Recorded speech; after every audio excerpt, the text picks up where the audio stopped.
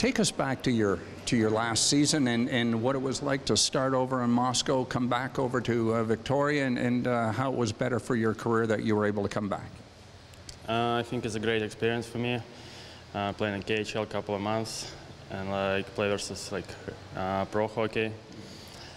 And like it's a great chance. And I, when I coming back, I start playing like more and like get some points and like try to like try to help my my team. You know, play a game and win games. Uh, it's a great experience and. I Mm-hmm. And, and to, to the decision to come to North America a year ago, I guess, with Vancouver, um, the WHL is a good learning ground, isn't it, uh, for all hockey players?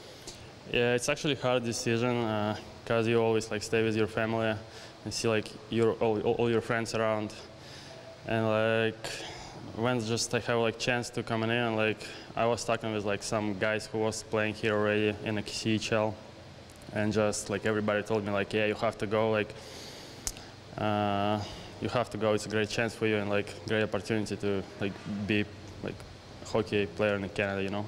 Play hockey here you're a pretty good fighter too and you've not backed off I think you've had 11 fights in the WHL Andrew Nielsen one of them uh, a couple of years ago where did you learn to, to throw them like that actually when I've been young uh, and playing Russia I've been fighting like lots of times. Just I can't say I'm t I'm a like fighter.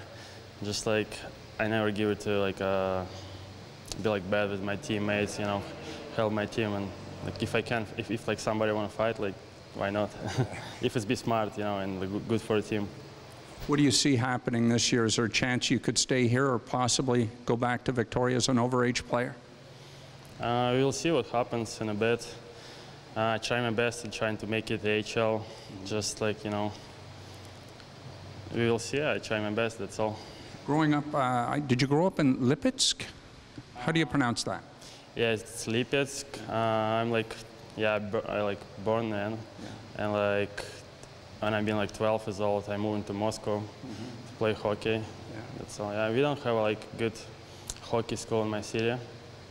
It's like not bad for a young time and after you have to move somewhere for like playing hockey. Who was your favorite hockey player growing up? Uh, Alexander Radulov. Good choice.